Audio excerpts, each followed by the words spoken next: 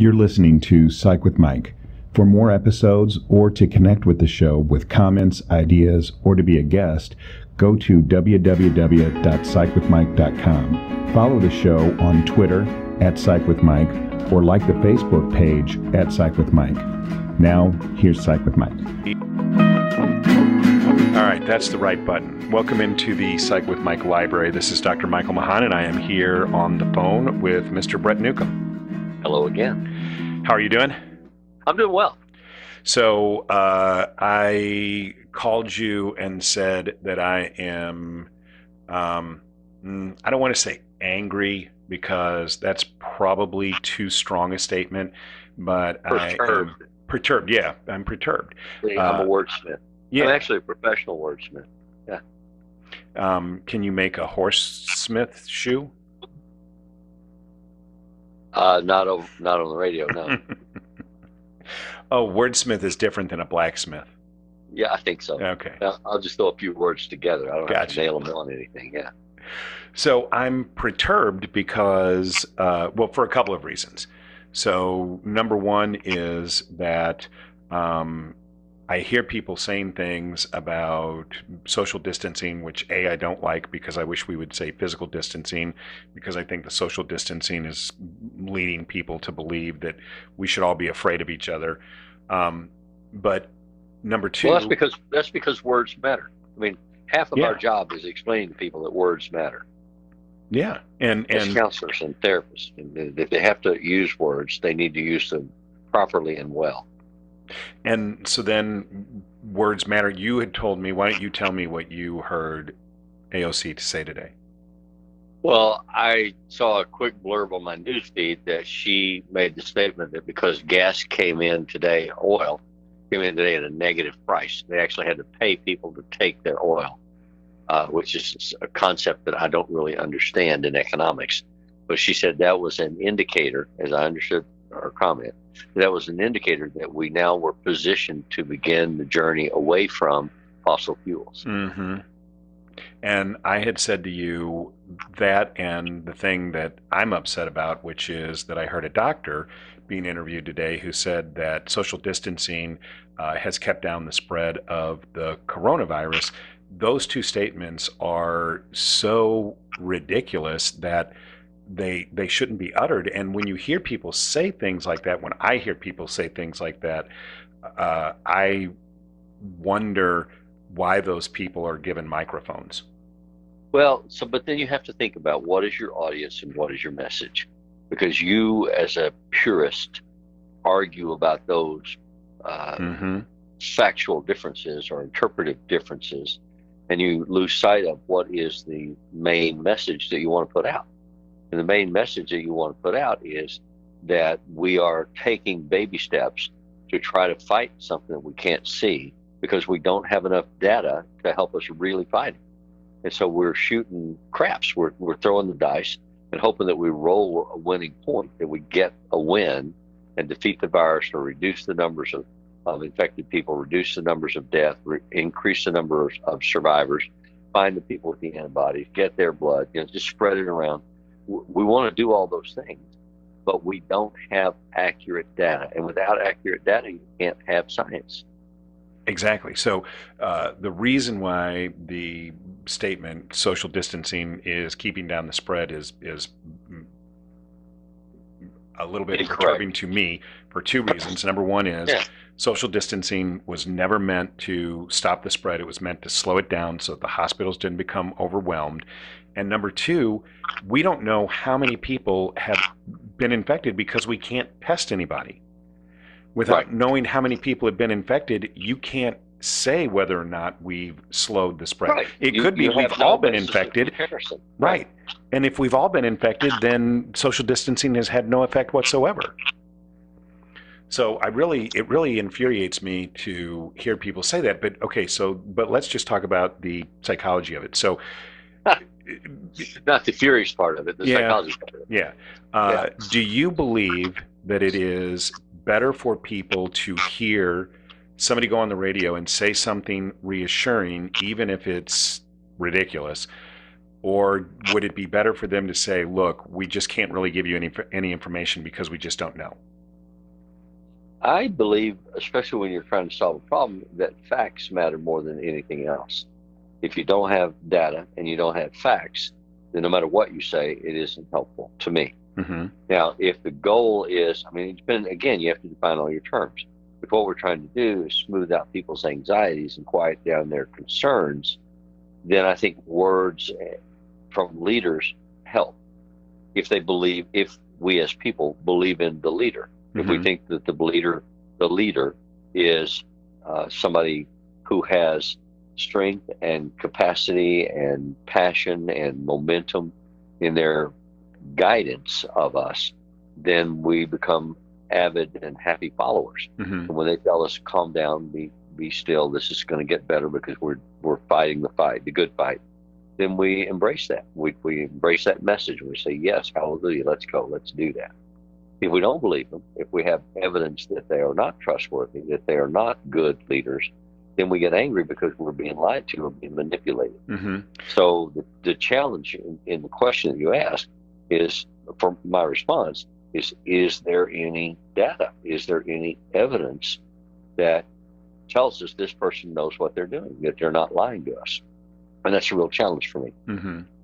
And that's uh, my concern is so we already saw the very beginnings of people becoming discontent with the effort to emotionally distance. So We had some protests over the weekend, and what I'm So, concerned so again, let's be careful about our terms because I think everybody is discontented with feeling trapped by quarantine. okay, not being able to go to a store, not being able to hang out with friends or have a barbecue or a party, or you know those things. If we're being good to the idea of social distancing, hmm are difficult over time, and and we're seeing more and more information come out about kids getting abused, domestic Mhm. disputes, problems that people living in small enclosed spaces are having because they can't get away from each other. hmm So if you're talking about that and people being upset about that, I'll embrace that 100% and say yes, amen.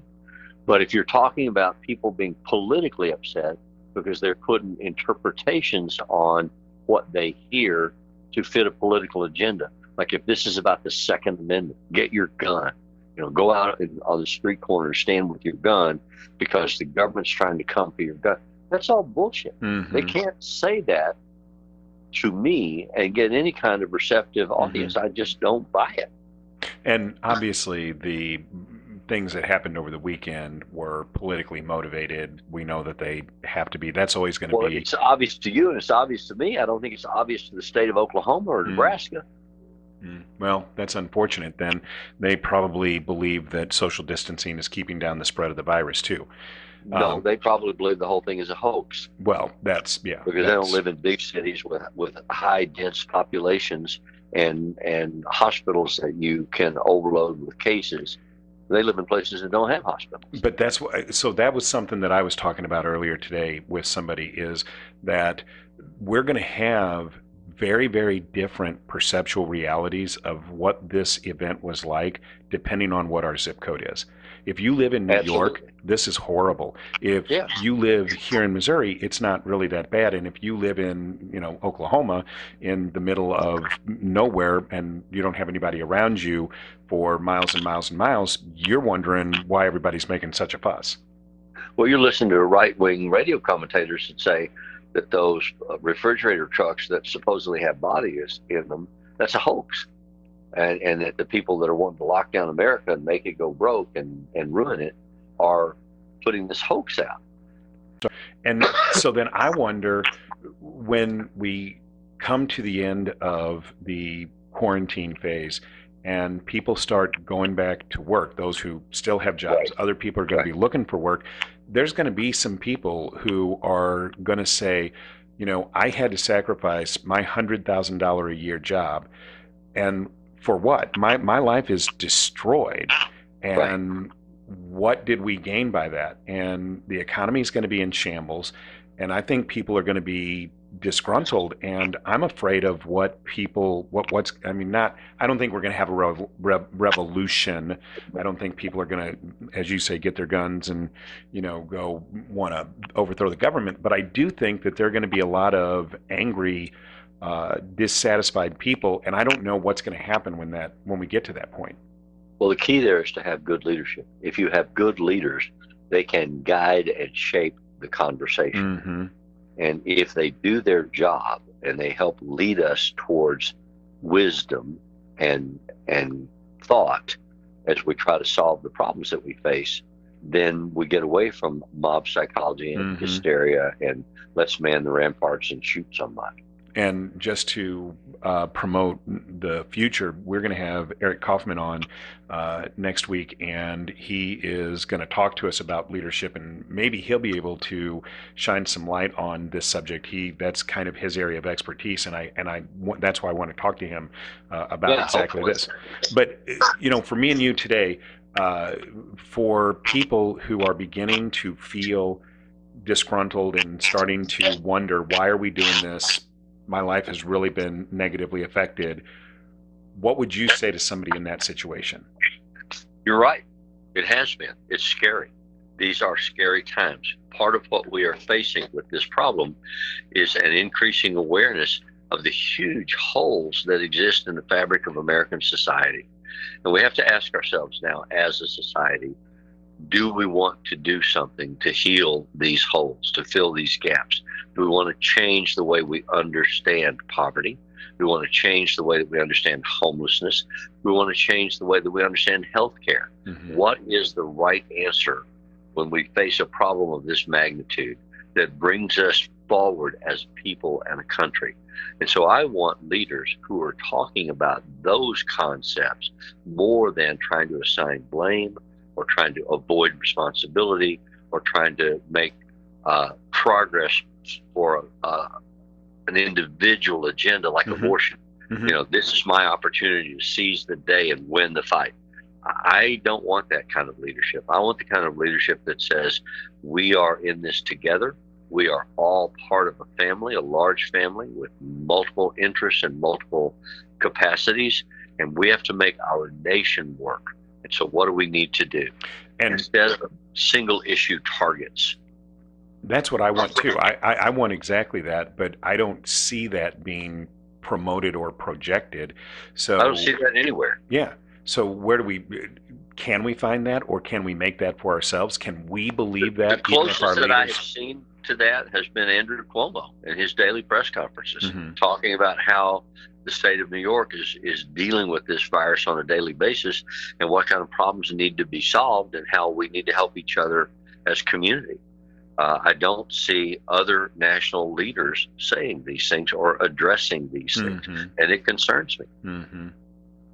But for us, if we're seeing clients and we're talking to them about their anxiety, what we, what do we tell them? I've been saying, you know what, uh, I believe in the message that you just espoused, which is we're in this together. We are a, we can choose to be a family. We can choose to be a community.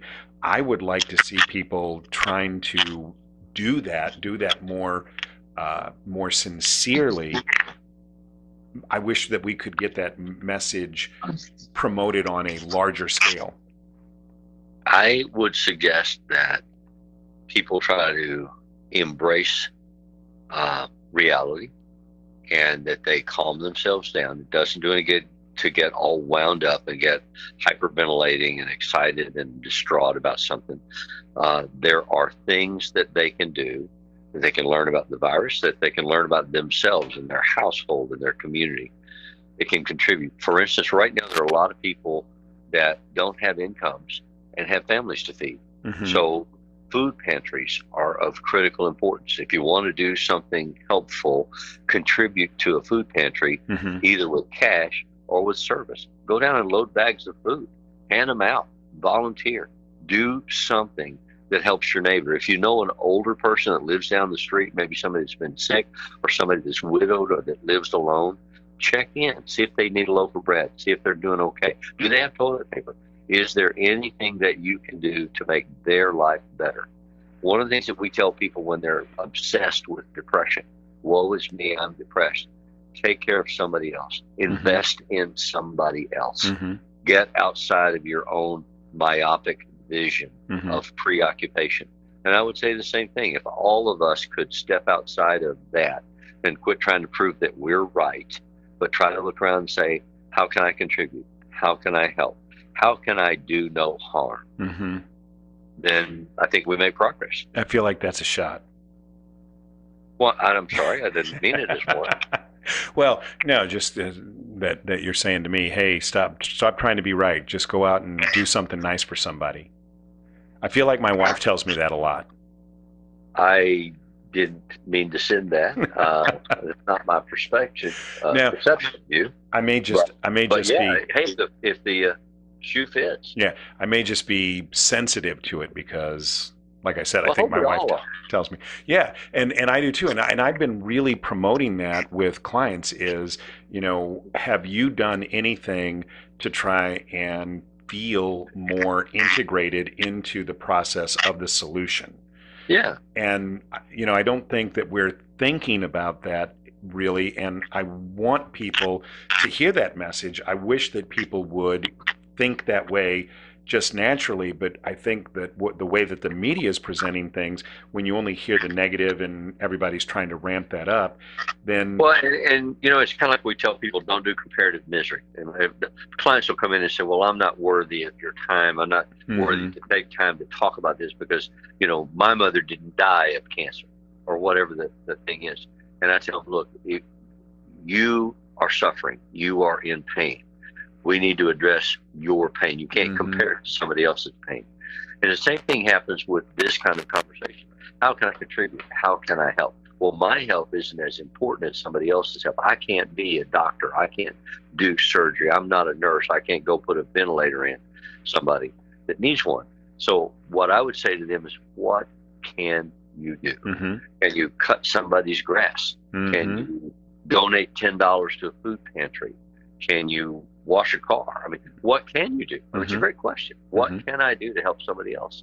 So start asking that question every day. and start thinking about it. Start thinking that way. If you start thinking that way, that eventually can become pervasive. You start thinking that way, you're going to start talking like that to people that are in your sphere of influence, then that might spark something in them. They might start talking that way, and pretty soon that becomes the national mentality. What can I do to try and help somebody? That's why I hate the idea, the word social distancing, because I think that it promotes this idea we should be afraid of each other. And I think exactly the opposite. I think that we should be trying to find opportunities. If you don't want to go be in somebody's sphere eh, within six feet, that's okay. You don't need to be within six feet of somebody to go cut their grass or, as you said, Right. go wash their car. So there's things that we can do to try and be a proactive part of the solution that Right. don't have anything to do with putting ourselves in danger. Amen. I agree. Yeah. But we need to be thoughtful about it and we need to be deliberate about it and conscious in our efforts. Mm-hmm. Yeah, and so uh, as a a last parting thought for people who are starting to feel the wear and tear of you know a month and now looking at maybe another several couple of weeks at least if not another month of this quarantine what do you say to people to keep them? Because i feel like you know we're we're, we're starting to get stale right the initial hey we're going to go do something and we're going to all band together has worn off now people are starting to think about the consequences starting to think about oh now i've been with the same people for four weeks and my tolerance is starting to wear down what can we encourage people to think about to make it fresh again I don't know. I don't know what will work uh, because people do numb out. No matter what their endurance capacity is, they reach saturation point. What I would say is be good to yourself. mm-hmm. Treat yourself in some way. Uh, things that you like or that give you comfort, indulge in those things. Whether it's reading a book or listening to uh uh classical music or country music or whatever it might be, do something that makes you feel good about you. Mm-hmm. and i still go ahead Well, just keep going, one foot in front of the other, one day at a time, one step at a time. And I'm still really, really encouraging people to think about going out and doing creative things, engaged, think about some kind of creative process that you would be interested in trying to pick up that maybe you've never done before, or maybe that you put down and haven't done in a while. If you are in that creative side of your brain, number one, you're out of the rational side of your brain, which is good to take a break from during all of this. But number two, I think that that is something that invigorates us. You know, yeah. uh, start doing the crossword puzzle, start doing Sudoku, uh, start. Shine your shoes. It, it, doesn't matter. Shine your right. China. Right, right, right. Uh, your silver. Uh, do something that you don't normally do. And that's something busy and active. Right. That that we haven't been encouraging enough is to continue to engage in a regular kind of activity of daily living schedule. Get up, yeah. take a shower, get, get dressed. dressed. Yes. Don't wear sweats all, all day, day long. All day. Right. Comb your hair, brush mm-hmm. your teeth, be ready to face the world. Exactly. And then sit down and read a a book. Well, I'm absolutely, but you know that's so important to get up, brush your teeth, comb your hair, take a shower, get dressed, and like you're saying, shine your shoes. You know, eh, right now we should all be able to have really, really good looking shoes, right? Yeah. Because we Amen. don't usually have enough time to shine those shoes. So yeah, get out, do those things. Well, if not get out, at least get up and do those things. But then also, I would encourage people to think about a creative process because I think that that is a really positive way to get yourself re-energized. My my wife and I are making a determined effort every single day to walk between four and six miles. Mm-hmm. The weather is nice. We get out and we go do that. We don't have to mix with anybody or get close to mm-hmm. anybody, but we can do that, and that's good for our health. Absolutely, it takes uh, an hour and a half, hour and 45 minutes. Uh, it's time well spent, and we reap benefits from mm-hmm. it. Well, especially because the gyms are closed. A lot of people started yeah. this out if they're not still eating a lot of comfort food because things were really scary. So, yeah, getting out now that the weather is starting to break, at least here in the Midwest, I'm sure there are some places where it's still cold.